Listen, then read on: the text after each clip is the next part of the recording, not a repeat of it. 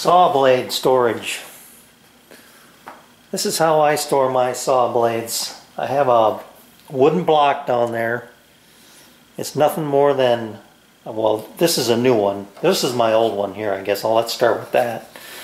My old one was just a three quarter inch piece of Baltic birch with a series of kerfs in it, depending upon the size of the blade, eighth inch or thin kerf. And uh, that just sat in the bottom of my drawer, and then I stacked my blades in there.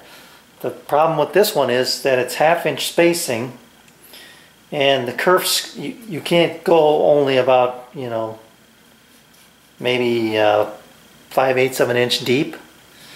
So what I wanted to do this time was, uh, I needed more room for, for a couple more blades I had, but I also needed, I wanted to have this uh, these kerfs to be deeper. So um, let me show you my my uh, my new holder. I'll take it out and take the blades out and show you what it is, and then I'll show you how I did it. But I'm all right. So there it is, uh, half inch Baltic birch, three quarter inch Baltic birch laminated together.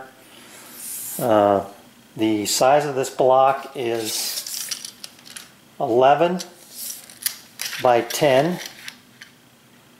Uh, 10 giving you 15 blade spaces or blade holders uh, at 5 eighths of an inch spacing.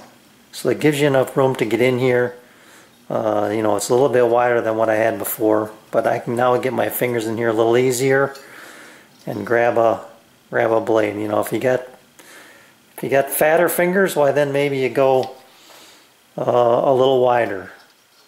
So you, know, you can see that the blades come out pretty easy. And then putting the back is just like that. And they drop in. So I've got, as long as I've got my thin kerf in there, and I've got, uh, now I've got a cheat sheet here of, of all the stops I need to make on my, on my uh, settings for my fence. I'm going to work my way this way and it makes kind of more sense to do that anyway because as I push the work it's going to stay in between the uh, stop blocks and just keep and going. this does so, work out pretty well.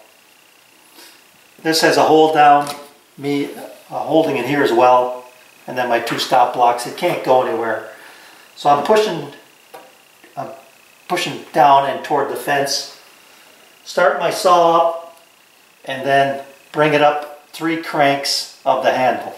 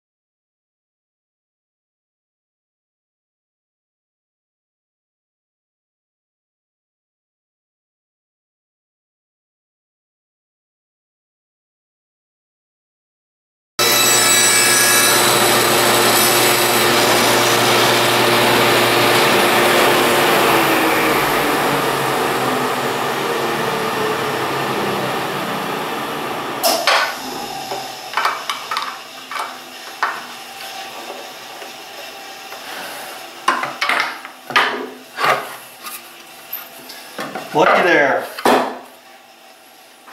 When you do something right, it works out.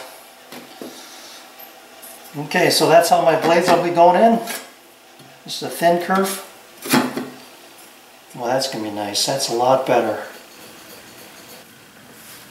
So that's how I take care of saw blade storage in my shop. Thanks for watching.